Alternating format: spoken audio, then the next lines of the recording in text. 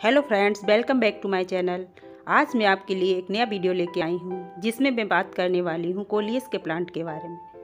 मैं आपको बताऊँगी कि कोलियस का प्लांट कैसे आप लंबे समय तक अपने गार्डन में रख सकते हैं। तो आइए फ्रेंड्स, बात करते हैं कोलियस के प्लांट पर प्लीज़, जिन लोगों ने मेरा चैनल सब्सक्राइब नहीं किया है, मेरे चैनल को सब्सक्राइब कीजिए। वीडियो अच्छा लगे तो लाइक कीजिए और शेयर कीजिए। आइए फ्रेंड्स, वीडियो स्टार्ट गर्मियों के सीज़न में ये प्लांट अक्सर तेज़ धूप के कारण भी खराब हो जाता है। इसलिए इस बात का ध्यान रखना चाहिए कि इस प्लांट को किसी ऐसी जगह पर रखिए जहाँ पर इसको सुबह की ही धूप मिले और दोपहर की तेज़ धूप से इन प्लांट को बचाया जा सके। इसलिए आपके यहाँ अगर बड़े बड़े प्लांट लगे हुए हों तो इनके पास में ही इसको रख लेना चाहिए, जिससे उसकी छाया से इस प्लांट को तेज़ धूप से बचाया जा सकता है। इसलिए इसको सुबह की धूप मिलनी चाहिए और दोपहर की तेज़ धूप से ये प्लांट खराब हो जाता है।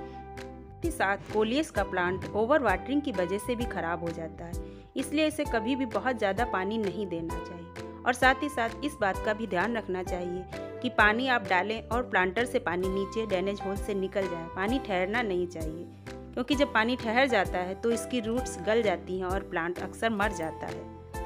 साथ ही साथ इस प्लांट को लगाते समय इस बात का भी ध्यान रखें। जब आप इसकी मिट्टी तैयार करें तो मिट्टी 50 percent thirty percent river sand और 20 परसेंट फर्टिलाइज़र मिलाकर के ही इसके लिए मिट्टी तैयार करनी चाहिए। और इस प्लांट को लगाते समय प्लांटर का ड्रेनेज होल हमेशा खुला रहना चाहिए, जिससे पानी आराम से नीचे निकल जाए। आपका प्लांट हेल्दी रहेगा। इस तरीके से आप लगाएँगे और इसकी पत्तियाँ भी नहीं गिरेंगी। और बढ़िया से आपका प्लांट चले इसकी पत्तियों को चमकदार और हरा भरा रखने के लिए आपको इसके लिए एक ट्रिक बता रही हूँ मैं। आप थोड़े से दाने यूरिया खाद के ले लीजिए, उनको पानी में भिगो दीजिए और फिर उसके ऊपर उस पानी का स्प्रे करिए।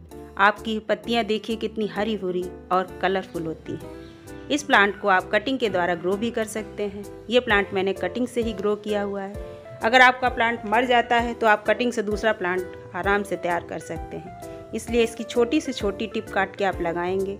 मिट्टी में पाँच से सात दिनों में उसमें रूट्स निकल आती हैं और आपका दूसरा प्लांट रेडी हो जाता है।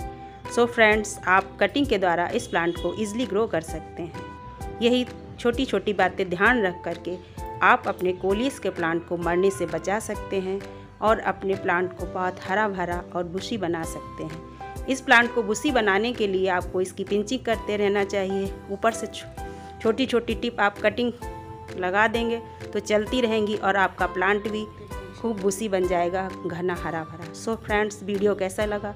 वीडियो अच्छा लगा हो तो वीडियो को लाइक कीजिए, चैनल को सब्सक्राइब कीजिए। Bye bye